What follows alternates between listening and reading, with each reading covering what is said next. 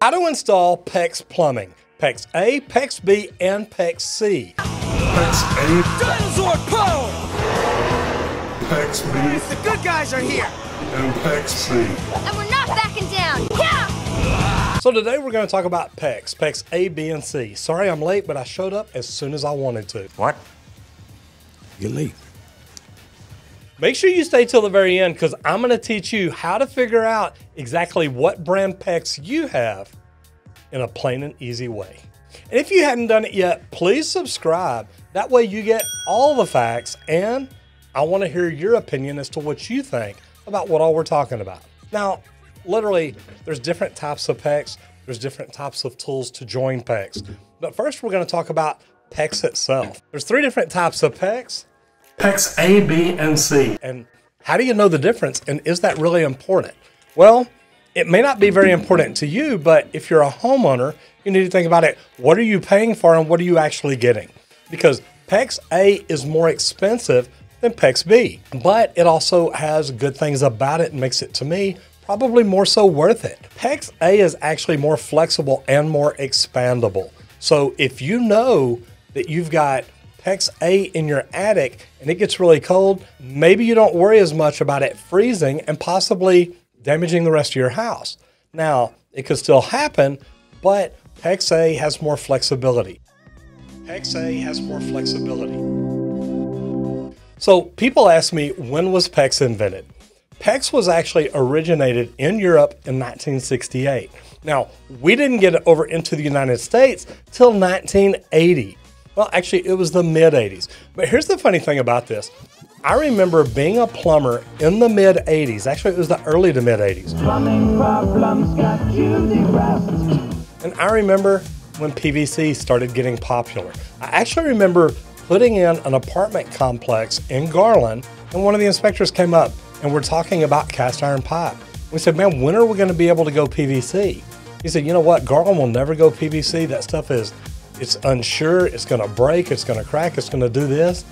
Now, almost every job we do is PVC instead of cast iron because cast iron starts decaying once it's in the ground. That's a neat thing about PEX. When PEX is underground, the plastic actually holds up probably better than copper in some situations.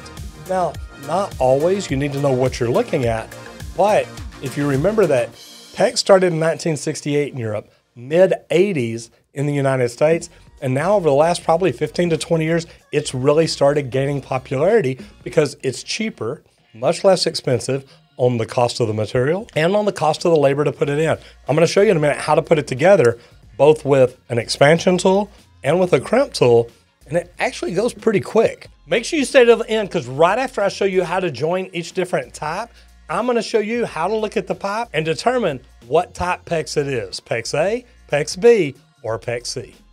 The ABC are not grades of pipe. There's a rating for chlorine and pressure and things like that.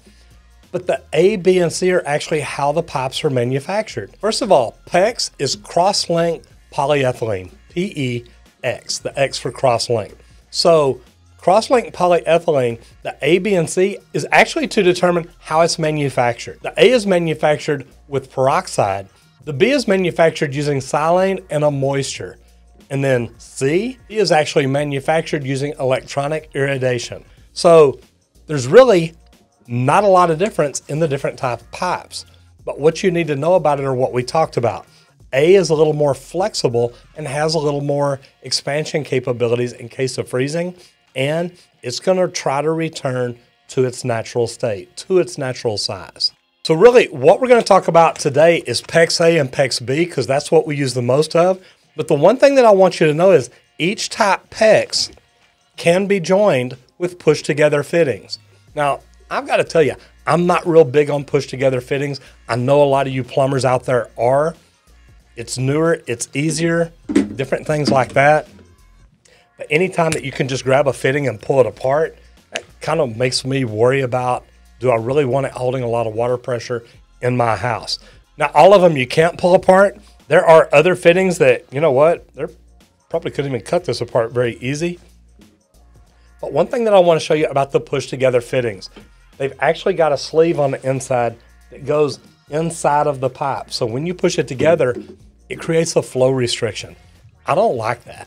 I really think that anytime you create flow restrictions in people's houses, you're causing problems.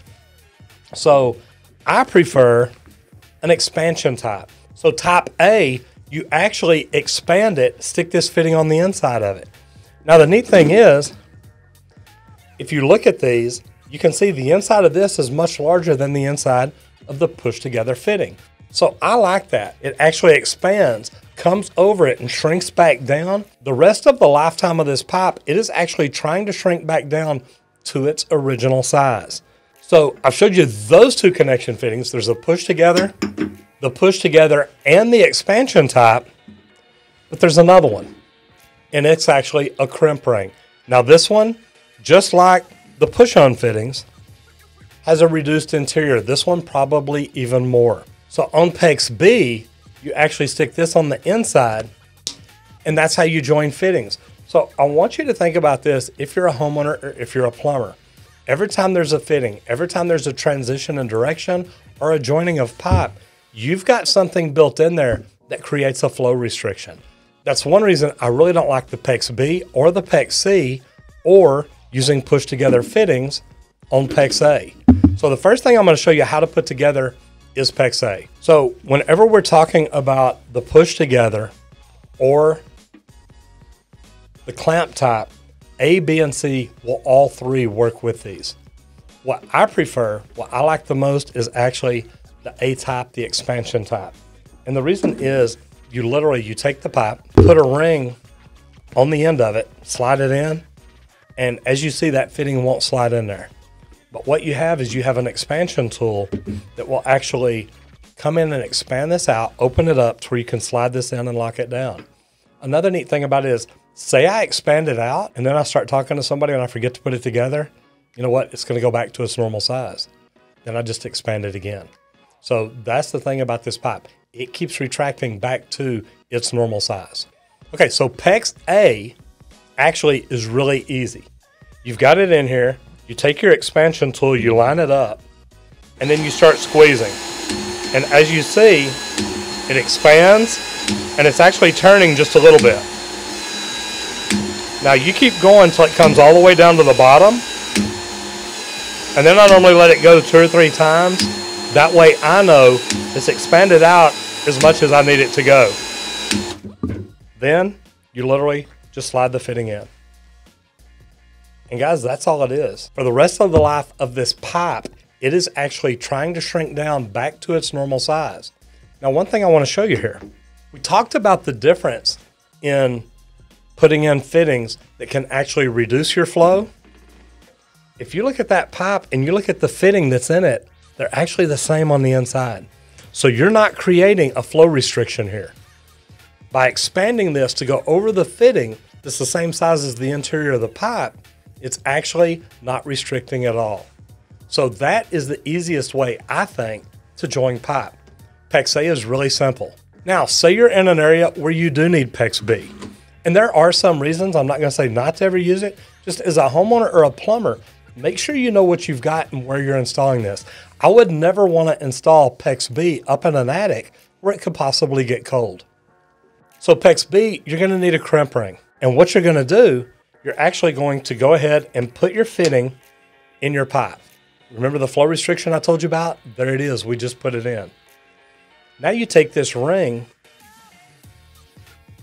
and put it over the end. And I like to leave just about an eighth of an inch right there. That way I can see the pipe. I know I'm not right up on the neck of the fittings where it could cause a problem. Now you've all heard me say don't use SharkBite. Well, this is one time I do use SharkBite. But it's actually just a tool. And as you see, I have my three quarter inch jaws in here. I've got the fitting in position. I've got the ring in position. So what I'm going to do is actually open my crimp tool all the way up. I'm to line it up where I want it. I'm to line it up right where I want it. Stick it in, get the ring right in the middle. And then once it's squeezing on it, I want to make sure that I'm not squeezing on that fitting. So I want to make sure that it sticks out far enough at the end so that it does not keep me from squeezing the ring all the way in.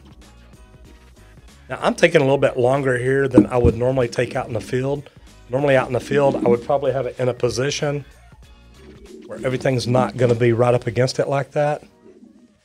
So I've got it right there the way I want it. Now, you just squeeze. Once you squeeze it and lock it, which it's done, you can open it right back up.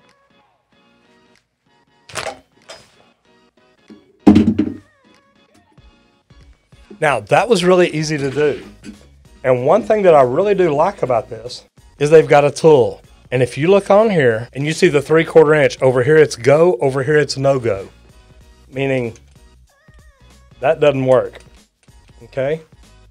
But if you go to the 3 8 inch go and slide it on, it works all the way around. I know this is a good tight crimp all the way around. I'm not going to have any problems with this. So, really, that's the most important thing to remember about PEX pipe. Number one, know what size you need. Know what pipe you need, know what installation process it's for. Is it just potable water? Is it hot water? Is it cold water? Is it high chlorinated water? What do you need? And make sure you get the right stuff. So there are more than 20 different manufacturers of PEX pipe out there. So what you need to do is you need to look at your particular application, do the homework on what's going to be best for you. Here where I'm at, we use PEX for potable water. We don't use any radiant heat systems or anything like that. So that is why I prefer PEX A with an expansion fitting. Now, one big thing too is to know which manufacturers make different types. This is the big tip that can actually help save you from having a problem. Uh-uh, I don't tip. You don't tip? No, I don't believe in it. You don't believe in tipping? As long as you understand, PEX A is made by Uponor and Rehau. PEX B is manufactured by Watts, Viega, and yes, Sharkbite. And we do use their pipe. And then PEX C is manufactured by Roth and Nibco. And I've actually done videos about those. I think Nibco's got a great system too. There's a lot of different things out there. Make sure that you understand what is best for you. Now, people ask me all the time why I don't like push together fittings. To be honest, as a plumbing company owner, we go back and fix more of these than we do of anything else. I've never had to go back and fix an Uponor leak. And whenever we go back and fix the solder leak, it's because either the plumber didn't join it all the way because something happened, or there's just a hole in the copper. But these lines have been there 20 to 50 years. These, these are still relatively new, and we've gone back and fixed so many leaks, it's crazy. Guys, if you hadn't done it yet, subscribe and ring the bell so you don't miss anything. And if you know anybody that works with fittings like this, share this video with them. I'm Roger Wakefield, LEED AP, the expert plumber. I'll see you in the next video if you don't get flushed.